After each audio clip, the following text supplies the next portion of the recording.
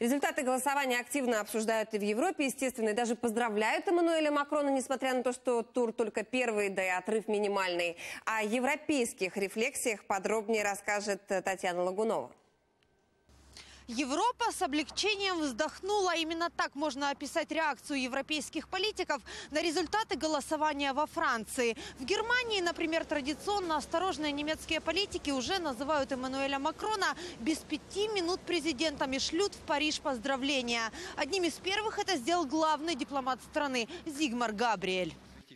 Этот результат очень важен для Франции, потому что у Макрона есть желание и силы вывести страну из летаргии. Без этой большой европейской нации невозможно построить Европу. Мы совершенно правы, что поддерживаем Макрона. Тем самым мы предотвращаем попытки антиевропейцев во главе с Мари Ле Пен ввергнуть Европу в еще больший кризис. Не скрывают своих симпатий топовые немецкие политики, которые уже этой осенью поборются за кресло канцлера. Пресс-секретарь Ангелы Меркель явно с одобрения своей начальницы в Твиттере пожелал Макрону удачи во втором туре. А ее главный конкурент и бывший президент Европарламента Мартин Шульц сделал это лично, не забыв напомнить и о себе.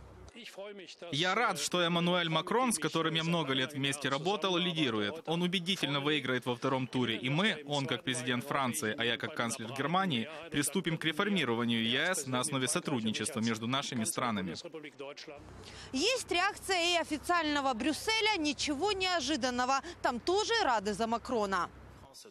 Вчера вечером президент Еврокомиссии Юнкер поздравил Макрона с результатами голосования. Речь шла о выборе между защитой того, что представляет собой Европа, и другим вариантом, цель которого – Европу разрушить. Это простой выбор. Как я написала в Твиттере, соседство флагов Франции и ЕС – это надежда для поколения. Для меня это подтверждение, что идентичность народа, идентичность человека может быть французской и европейской одновременно. И также думает большая часть моего поколения и поколения Мануэля. Тишину и, как оказалось, еще и Макрона любят и деньги. По крайней мере, единая европейская валюта. После оглашения результатов первого тура курс евро по отношению к доллару резко пошел вверх. И уже достиг максимальной отметки за последние пять месяцев. Татьяна Лугунова, Вячеслав Фролов. Подробности Европейское бюро телеканала «Интер».